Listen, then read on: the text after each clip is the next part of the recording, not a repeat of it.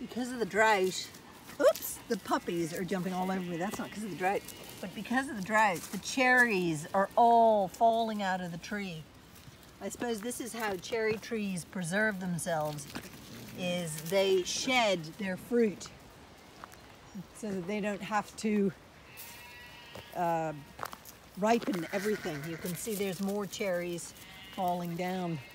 There's still some in the tree, but a lot of them, you can see there's still some there as well, but a lot of them have fallen on the ground and uh, in a kind of half ripened shape.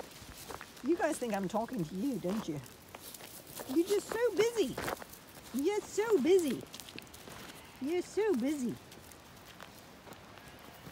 But all our cherry trees are feeling the effects. That's another cherry.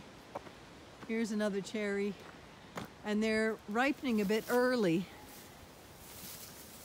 but they're not ripening as fruit. They're dried up, hard things. There's going to be hardly any fruit. We were desperately, if we're going to have any cherries this year, we need a drop of rain.